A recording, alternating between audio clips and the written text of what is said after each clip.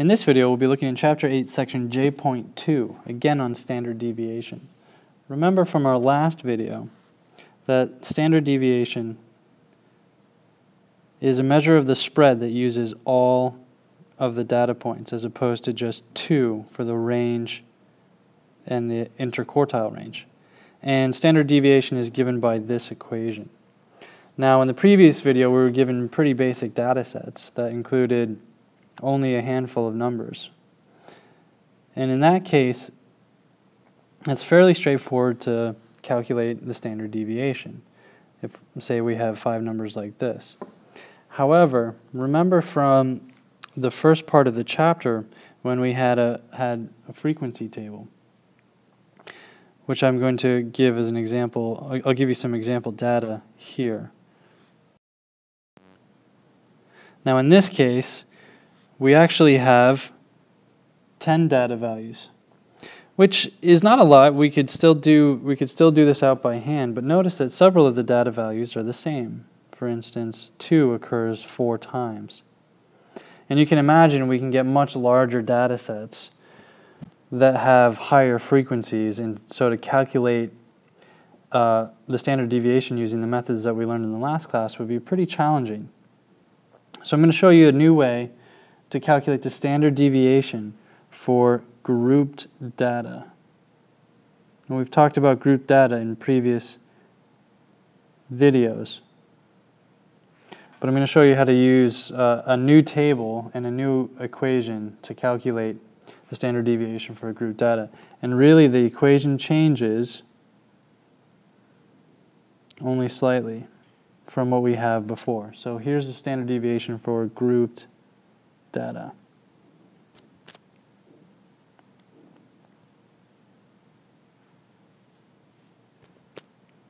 And you know that you'll notice that there are two differences. The first being is that we have an f here in front of the square of the deviations. That f is the frequency for each data point. And we also have sigma f in the denominator instead of n. And the sigma f really is n, it's just another way of writing it. And if we, if we add up all of the frequencies, that really tells us how many data points we have. So again, it's really the same equation, just written in a different form. So let's take a look at an example. And this is actually the same data from the previous slide. And we're, we're going to calculate the standard deviation here, again using our new, our new formula which is which is this. And remember from the from the previous video that we generated a table to help us determine what some of these values were.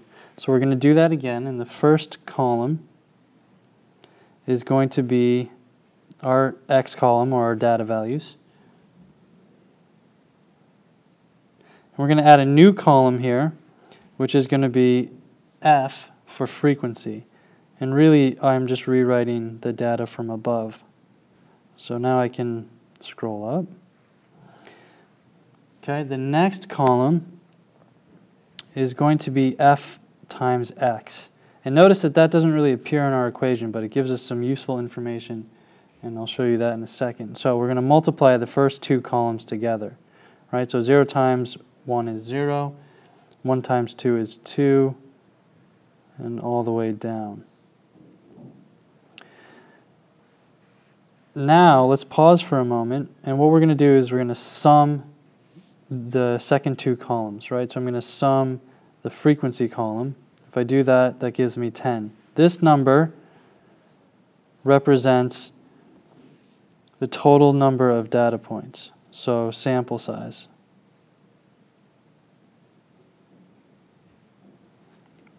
I'm going to sum the second column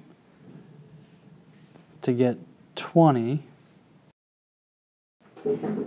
This second number right here is actually the sum of all the data set, or sum of all the data points. And so from our pre previous videos, we know that to be sigma x.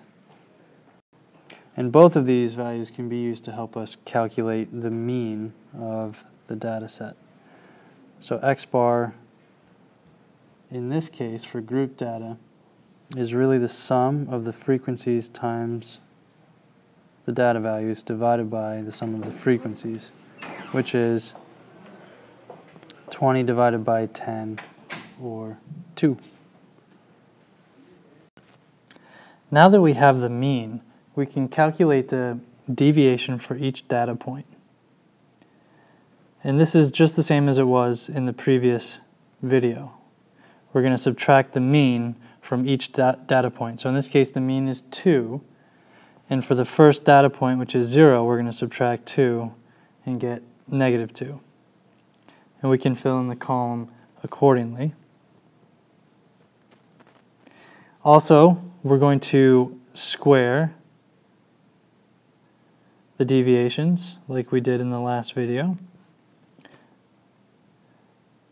And so we come up with values for this column. Now, the one additional column that we have is to multiply the squares of the deviations by the frequency. Because remember, 0 is occurring once, but some of the other data values, like 2, are occurring four times. So I need to account for that squared deviation four times.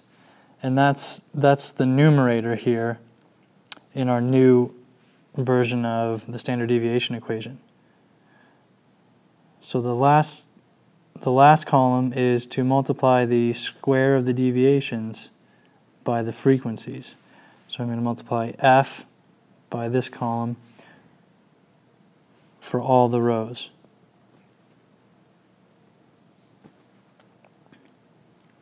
Now this is really the column we're after. Once we have this column, we can find the sum, which is 12, and this number becomes the numerator of our new standard deviation equation. So we have the square root of 12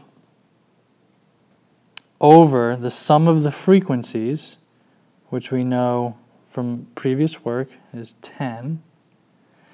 And therefore I can approximate the standard deviation at 1.10.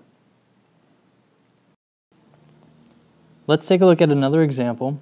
Again, we're asked to find the standard deviation of grouped data, but in this case, we're not given the actual data points, but instead, we're given the class intervals.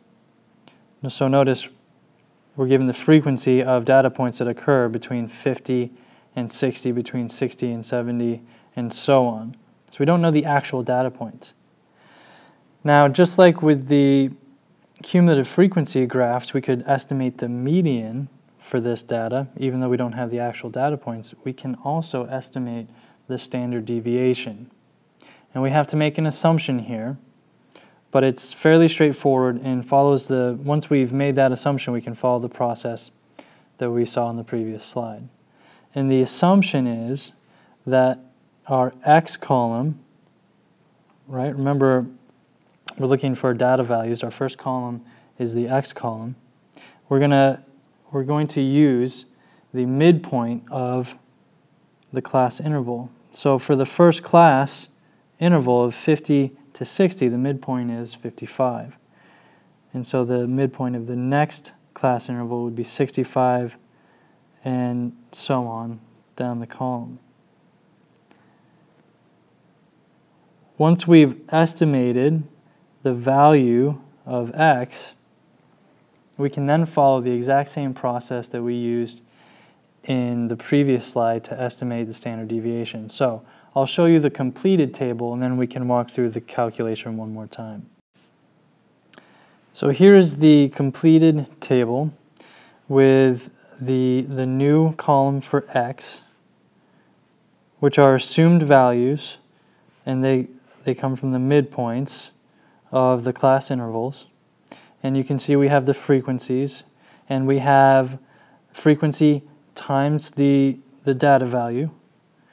And we actually cut out a few of the columns and just combined the last three columns into one. So we, we sort of skipped right to the end. We found the deviation, squared it, and multiplied by the frequency all in one step. And, and you can do that and it saves a little bit of work or in, in writing down all the numbers. So now that we have this completed table, we can once again use the equation for the standard deviation. But first, we need to find the mean of the data set. And remember, for group data, we're going to find the sum of the frequencies times the, the data values divided by the sum of the frequencies, which in this case is 2025 divided by 25. And hopefully you can see those, where those values come from from the graph above. And so our, our mean is actually an approximate here is 81. And then the standard deviation, again, comes from this equation for grouped data. The sum of the frequencies times the deviations squared divided by the sum of the frequencies, all, all underneath the square root.